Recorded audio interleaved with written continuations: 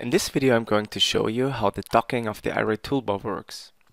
You can always tear off any tab of the Iray toolbar by clicking the tab and dragging it into the empty space. Or if you have no tab left, just uh, clicking on the left hand side and tearing off um, the tab and it will appear in a separate window.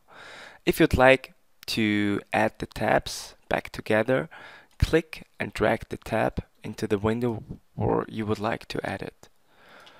Um, in certain cases, you might end up losing your Iray toolbar completely just by closing it. If you'd like to get it back, it's very simple.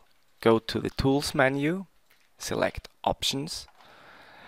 Underneath the Rhino options, select Toolbars and choose the NVIDIA Iray Rhino plugin. And there you have the options to bring back uh, the Iray toolbar with a simple click.